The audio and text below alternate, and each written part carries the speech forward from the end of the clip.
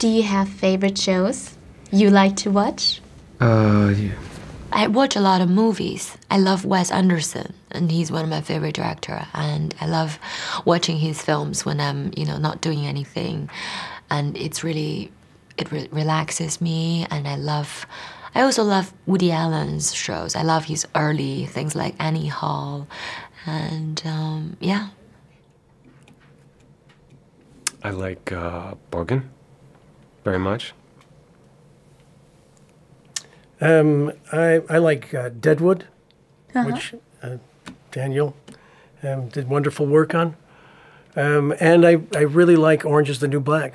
Nice. Uh, Orange is the New Black, yeah, definitely. Yeah, it's really, um, that was my first uh, binge watching experience that took me by surprise where I expected to sit down and just see what the show was about. And, and uh, f- you know, five episodes later, I was still watching. I, I, I like watching movies, so uh, so I I was very surprised by uh, how much shooting this feels like a movie. So uh, so that's you know that's that's that's me. I, I don't feel like I've shot a series. I feel like I've shot one big, very long movie. Um, do you have any favorite shows? Scrubs.